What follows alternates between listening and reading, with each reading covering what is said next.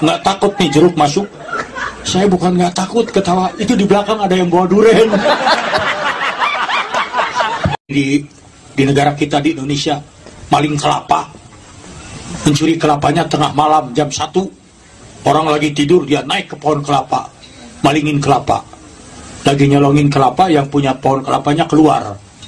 Begitu melihat maling langsung berteriak hei lagi apa lu? Malingnya tidak pernah gugup. Dia dengan sopan mengangguk mau tanya pak kalau jalan ke langit ke sini yang punyanya nggak bisa ngomong. Oh silakan silakan. Kebayang jalan ke langit. Oh maka terus. Nah eh.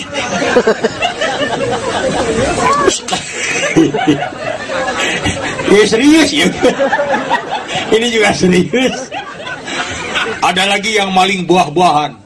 Ini di satu desa buah-buahan selalu hilang.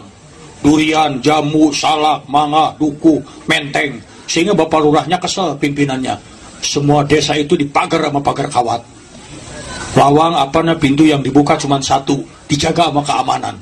Laki-laki yang keluar digeledah semua. Takut mencuri buah-buahan. Bececer ke belakang. Satu-satu diperiksa sakunya. Paling apa nih? Duku. Ah, paling duku. Prosotin celana. Prosotin. Nungin tuh duku dimasukin ke liang pantatnya biar kapok tuh teriak dia satu. Yang kedua salak maling salak. Nungin prosotin celana. Masukin berteriak.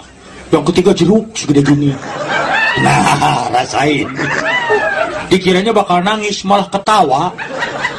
Kamu kenapa ketawa? Nggak takut nih jeruk masuk?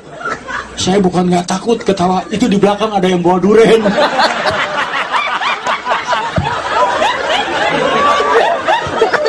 ya bisa dibayangkan kalau duren nah ini hanya sekadar dongeng